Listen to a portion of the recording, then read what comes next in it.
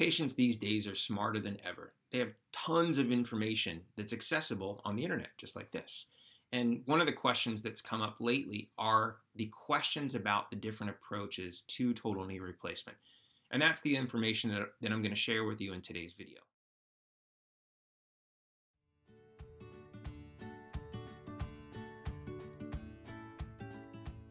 Hello and welcome back. I'm Adam Rosen. Thanks again for watching. If you haven't already subscribed, please subscribe. And if you could take a moment and click the little thumbs up button below, it really helps people like you find content like this.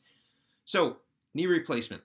There's not one way to do it. Um, there are lots of different implants. You can do it manual or robotic. There are different alignment philosophies like kinematic, mechanical, anatomic, and there are different surgical approaches. And patients nowadays are starting to find out about the different approaches, and many are curious as to what the difference is and is there a best. And that's what I'm going to cover with you in these next few minutes.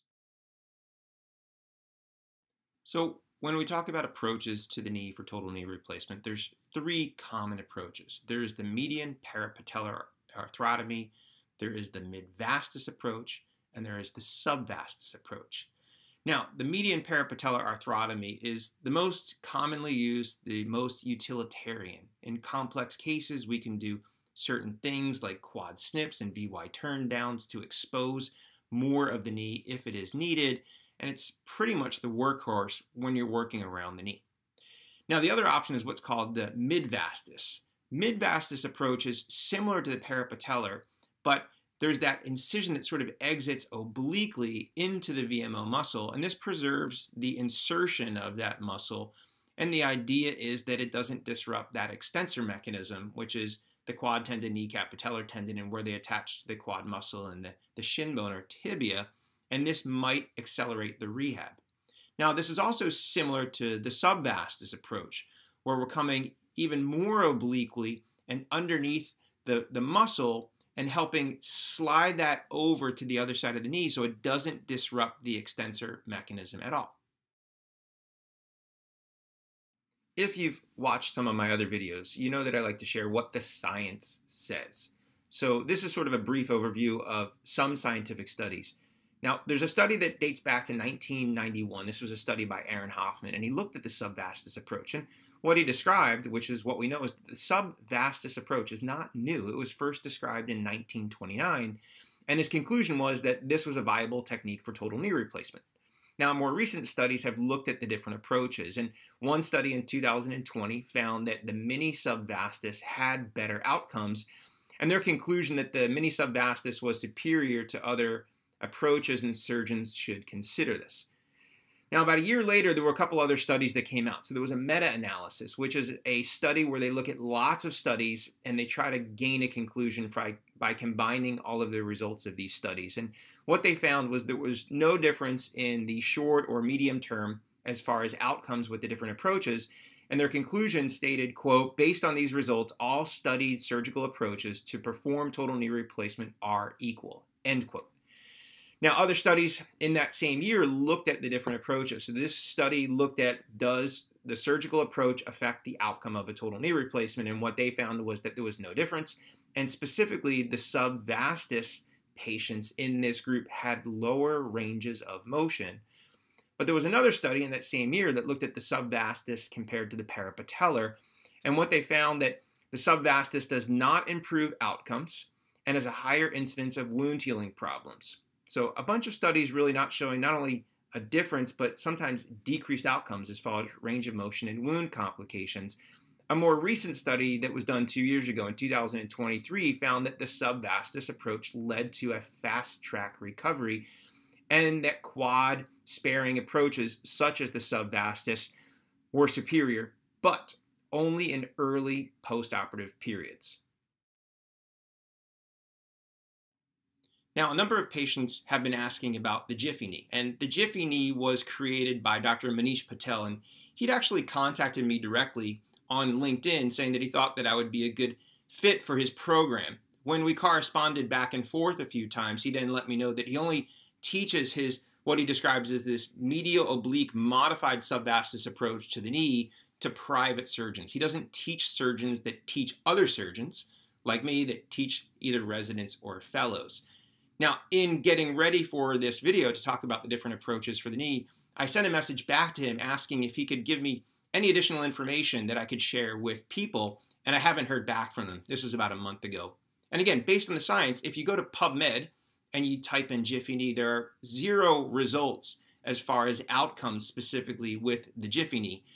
Now, a lot of doctors that I know around the globe have transitioned more recently to the subvastus. Some even call it the comb over technique because we're making this incision underneath the VMO and the subvastus approach pulls everything over the top of the thigh bone, sort of like a comb over. And I've heard from a lot of friends and colleagues that they say that their patients are doing better earlier on. And that's kind of what some of the studies show. Although some didn't show a difference, some did show that there were early improvements in the early postoperative period. Now, another knee thing that patients ask about is what's called the nano knee. So, the nano knee was a coin termed by Dr. Thomas Farrow. And again, if you go to PubMed and type in nano knee, there are zero results. Um, Hoag, and again, they are in close proximity um, to LA they actually wrote up about the nano knee and they said quote the nano knee is a creative marketing term used by a medical group to advertise outpatient total knee replacement.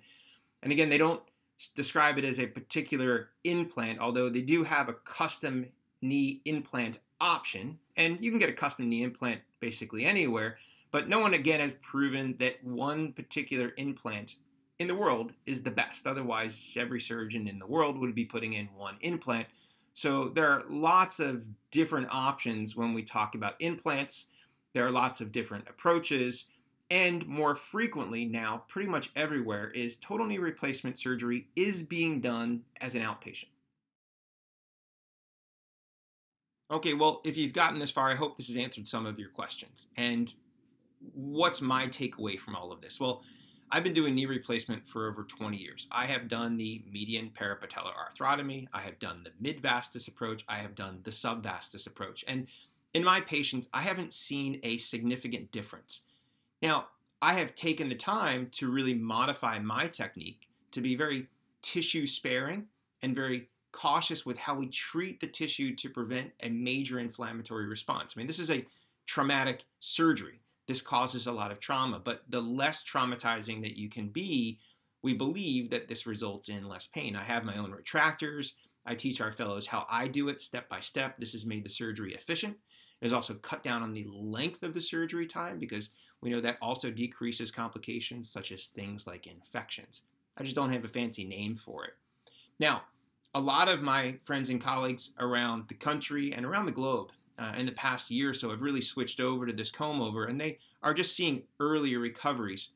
My personal experience over decades wasn't that the approaches were making a significant difference in the outcome. And if so, it was really hard to measure.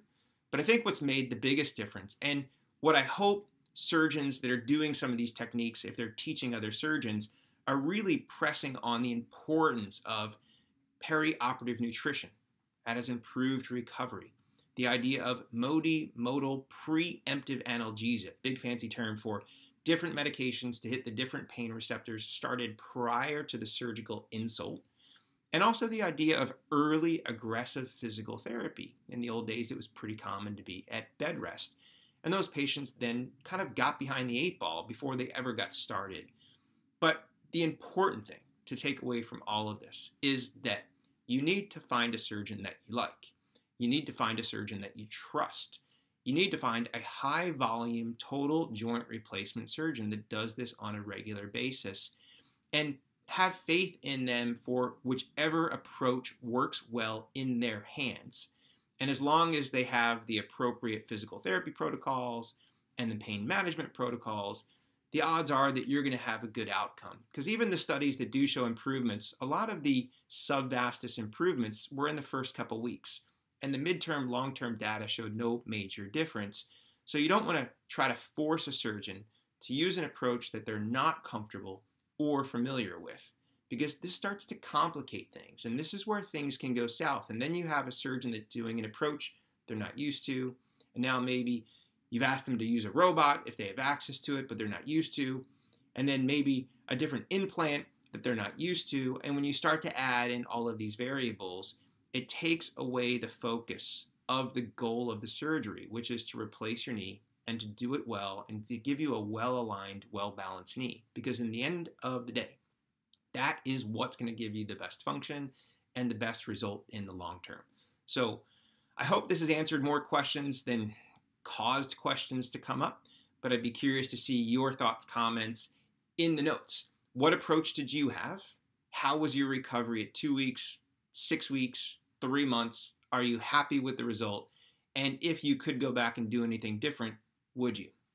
Thanks again for watching. I'm Adam Rosen. Until next time, stay safe.